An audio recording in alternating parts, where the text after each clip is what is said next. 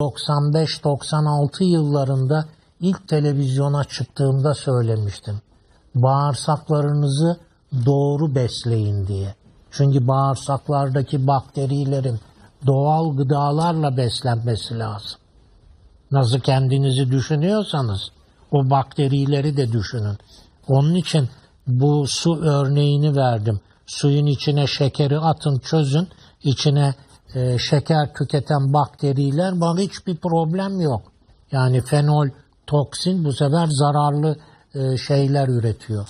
Yani burada da siz e, sağlıksız gıdaları, katkılı gıdaları kullandığınız zaman raf ömrünü uzatma adına kimyasalları kullandığınız zaman bu kimyasalları bağırsaklarımızdaki bakteriler alıyor.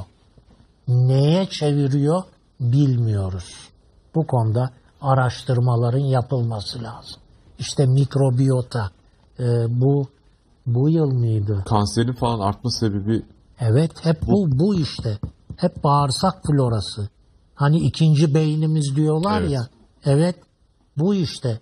Yani bakteriler mutasyona uğruyor. Ne ürettiğini bilmiyorsun. Yani şimdi gliadini parçaladı ya ekmeğin içindeki protein parçalıyor gliadini enzimi var egzorfin oluyor. Pat kan beyin bariyerini geçiyor beyne gidiyor. Yani çocukta dikkat dağınıklığı yapıyor. Çocuğu doyumsuz, tatmin olmamış bir çocuk, hırçın bir çocuk, yani e, davranış bozuklukları olan bir türlü çocuk sakinleşemiyor. İşte sebebi bu. İşte sebebi bu. Yani yani gıda bozuk.